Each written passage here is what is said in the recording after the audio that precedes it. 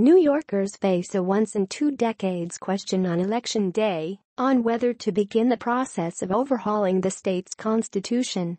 A ballot proposition on Tuesday would, if approved by voters, set the process in motion for a constitutional convention to be held in 2019.